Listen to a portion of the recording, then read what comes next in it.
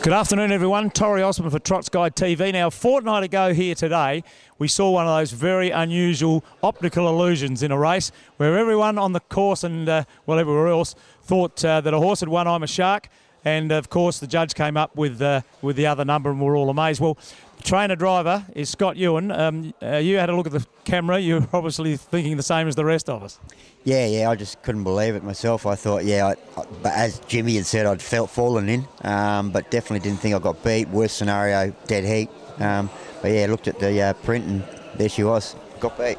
Well, she's run in a top class race since uh, and uh, and acquitted herself pretty well. And she made a in Saturday night. Didn't need the camera Saturday night. No, no, she, uh, she she bowls along good in front. That day I probably should have gone a bit quicker, but she raced on the Friday night at Port Pirie. Uh, just got beat, went 159, went pretty good time. So I, I, I, looked after her and probably wasn't the best thing I could have done. But anyway, that's uh, life. And uh, end of the day, she went really good Saturday night, and uh, I think she'll be a nice three-year-old. Well, that's it. She's got uh, um, time on her side. She's three next week, um, going up uh, one with all of them. Uh, and as I say, time's on her side, and uh, uh, obviously nice, some nice classic races for three-year-olds.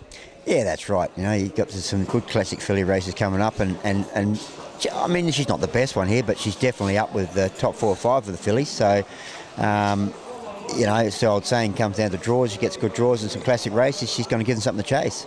And babies change too, don't they? They grow up and uh, uh, and do things we don't expect of them. Of course, yep, yep. And uh, she's still a little bit ratty. I don't know if you saw her Saturday scoring up. She was a bit um, rearing up and carrying on. And I just think she'll get better with a bit of age. Um, and yeah, just could turn to a real nice horse. She's having a break now, or uh, still still in? Uh, we're going to run the last one of the season this Saturday, and then we'll chuck her out for five six weeks, and then start again. Thanks, Scotty. Good luck with her and the others. No worries. Thank you. Ladies and gentlemen, Scott Ewen.